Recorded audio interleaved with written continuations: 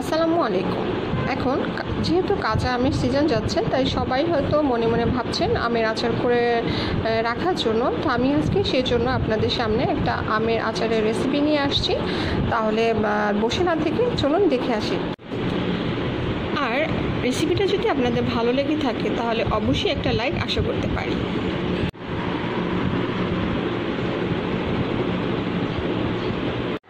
আমের আচারটা করার জন্য এখানে আমি সাতটা আম নিয়েছি আমগুলোর সাইজ একটু বড়ই। এখানে আমি ধুয়ে নিয়েছি ধুয়ে নিয়ে পানিটা ঝরে আমি খোসাটা ছাড়িয়ে টুকরো টুকরো করে নিচ্ছি। আমগুলোকে আমি এভাবে খোসাটা ছাড়িয়ে এভাবে করে টুকরো করে নিয়েছি। আমের আচার করার এখনই হচ্ছে উপযুক্ত সময়, কারণ এখন পর্যন্ত আমের যে আঠি এটা শক্ত হয়নি, পাতলাই।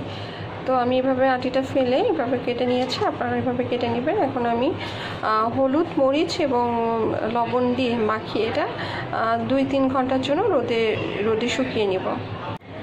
এছাড়া আপনারা যদি রোদে নিতে না চান, সেক্ষেত্রে আপনাদের একটা শুকনো হচ্ছে সুতি কাপড় দিয়ে এই পানিটা মুছে নিয়ে এখানে হলুদ মরিচ মাখিয়ে নিয়ে ফ্যানের বাতাসও পানিটা শুকিয়ে নিতে পারেন।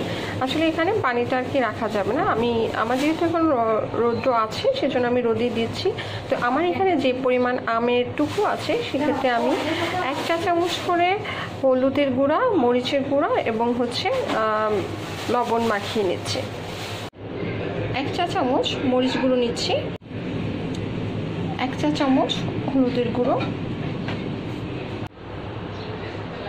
এবং এক চা চামচ লবণ নিচ্ছি। এটাকে এখন ভালোভাবে মাখিয়ে আমি রোদে দুই তিন দুই তিন ঘণ্টার জন্য রেখে দিচ্ছি।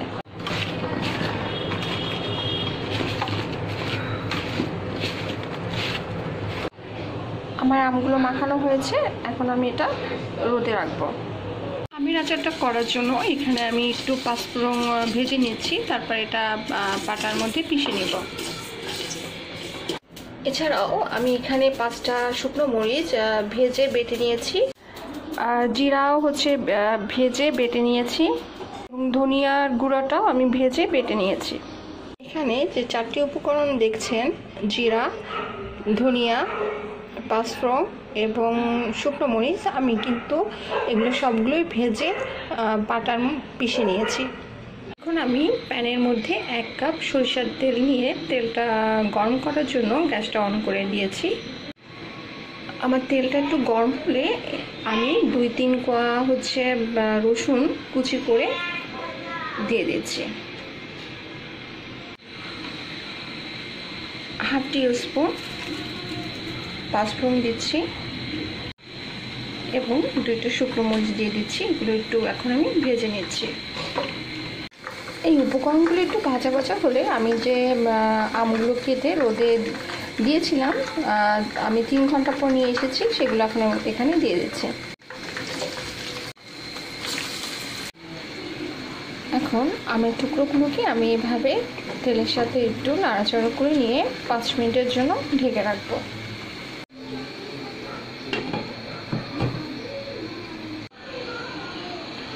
আমি পাঁচ মিনিট পরে ফিরে এসেছি।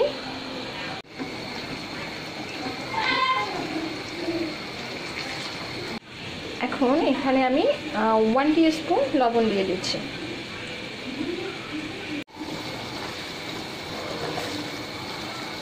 ওয়ান স্পুন সর্ষে বাটা দিয়ে দিচ্ছি।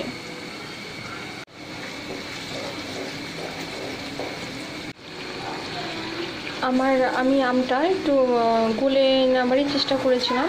তো আমার আহ, আম মনে হচ্ছে যে সিদ্ধ হয়ে গিয়েছে একটু ভেঙে ভেঙে যাচ্ছে। আর আর এটা সিদ্ধ হতে মিনিমাম হচ্ছে দশ মিনিট লেগেছে। আপনারা যখন বাড়িতে করবেন হয়তো বেশিও লাগতে পারে বা কমও সময় লাগতে পারে।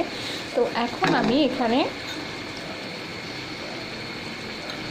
দুই চামচ দুই চা চামচ হচ্ছে পাঁচফোড়ন দিয়ে দিচ্ছে।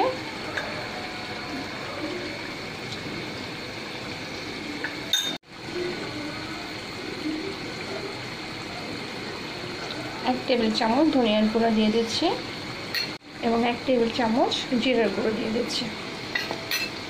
এবং সবগুলো উপকরণ আমি একটু নাড়াচাড়া করে নিচ্ছি।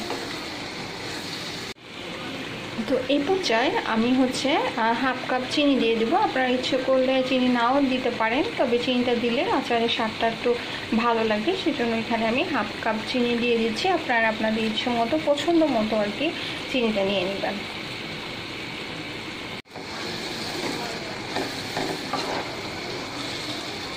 আমার আচার প্রায় শেষের দিকে এখন আমি দুই টেবিল চামচ ভিনেগার দিয়ে দিচ্ছি। এবং আমি যে শুকনো মরিচগুলো ভেজে নিয়ে, বেটে নিয়েছিলাম, সেটাও দিয়ে দিচ্ছি। এভাবে আরও তিন চার মিনিট আমি গ্যাসের উপর রেখে গ্যাসটা অফ করে দিচ্ছি।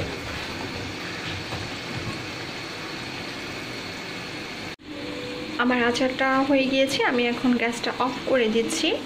আর এখন আমার আচারটা ঠান্ডা হলে আমি এটা কাচের বয়মে ভরে প্রায় সংরক্ষণ করতে পারব ছয় মাসের মতো। মাঝে মধ্যে আমাকে রোদে শুকিয়ে নিতে হবে।